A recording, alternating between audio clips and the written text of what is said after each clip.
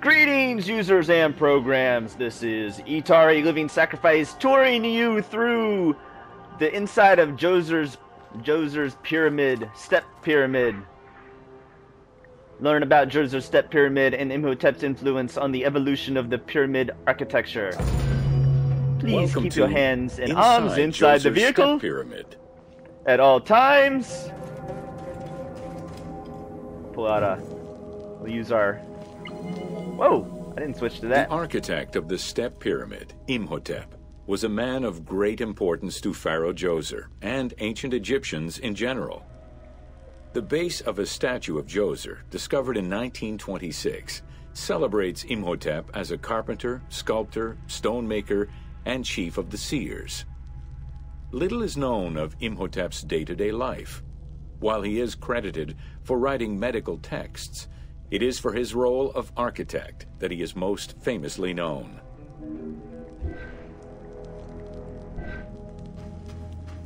Gonna burn all the. Oh, we can't burn. Aw. Can't get rid of the cobwebs.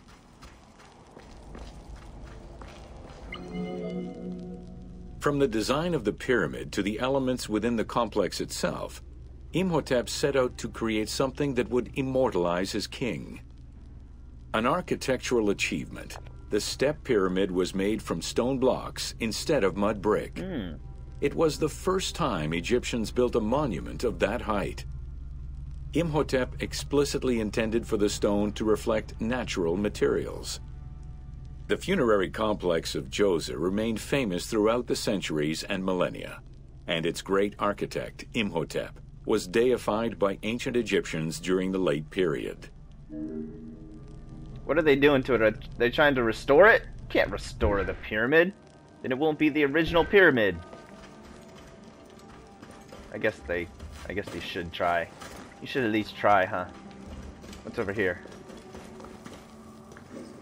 Oh, let's back out. They don't want us to go there. Whoosh. In addition to the central subterranean palace built for Djoser, 11 wells were dug.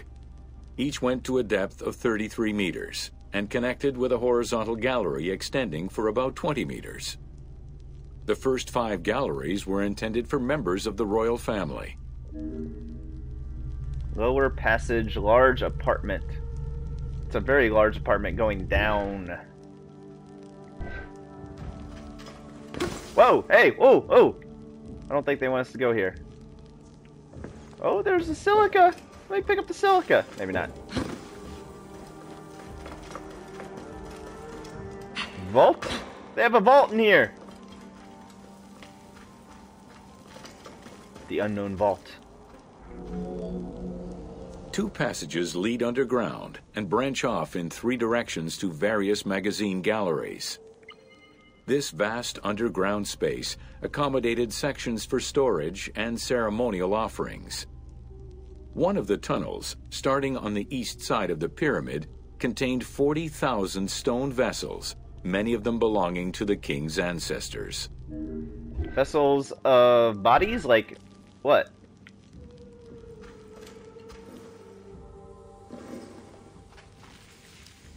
Those vessels? Uh. Hmm.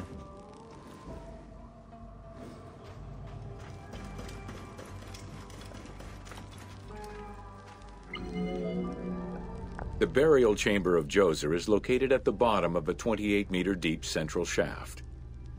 According to Egyptologist Jean Philippe Lauer, the chamber was originally made from polished blocks of limestone, while its ceiling was decorated in five pointed stars. At some point, however, the limestone blocks were replaced entirely by pink granite blocks, leaving behind only fragments of limestone blocks decorated with stars. Oh, that's too bad. So there's an actual body inside this pyramid.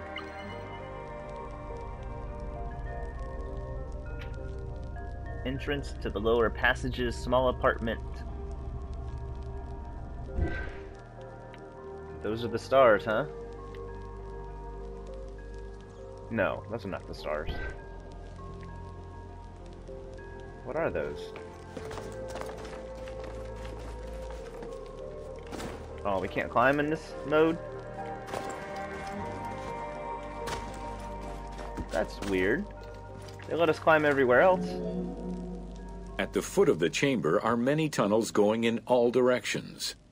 This maze of tunnels, galleries, and chambers stretches over five kilometers. There are a number of dead ends and false doors. They may have been intended for the afterlife, rather than to fool thieves. Why would he want false doors in his afterlife?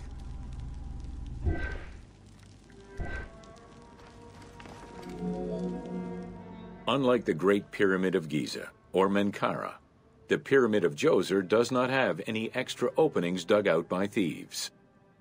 There was no need for them.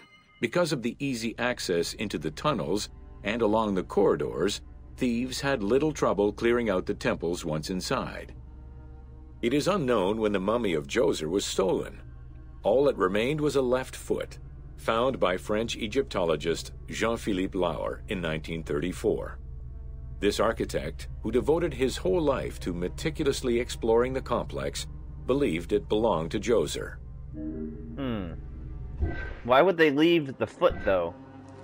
That doesn't make a lot of sense. Ah, that annoys me. They won't let me climb. The Pharaoh's apartments, also known as the Blue Chambers, are decorated with blue-green tiles meant to imitate the reed matting that covered the walls and windows of his palace.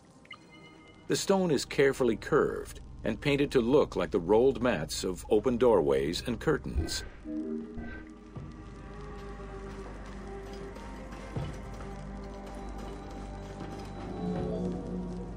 There are two long rooms running side by side along a north-south axis.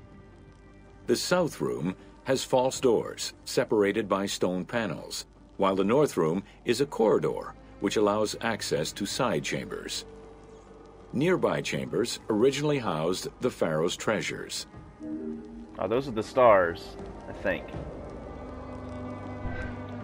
See, this is pretty cool because this is most people will never get a chance to go inside the pyramid, so this is the closest a lot of us will ever get. Whoa. Where did they find those bodies then? Chest cavities. The door frames are made of fine limestone and carved with the king's name. As in the south tomb, reliefs are carved into the doorways. These reliefs show the king performing rituals and visiting divine sanctuaries for all eternity. Their interiors are fictive additions made by the team to add to the wonders of the tomb. It is clear from the elaborate detail and scale of the complex that this funerary monument was a technological marvel of its time. They're not going to translate them for us, huh?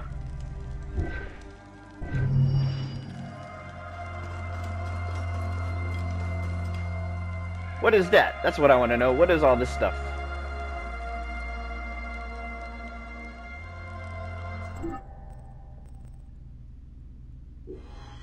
Sneferu's first pyramid. So, thank you for joining us on our tour of jo inside of Djoser's pyramid. The next one, on the next episode, we're going to do Sneferu. And thank you for joining us, and remember to keep moving forward!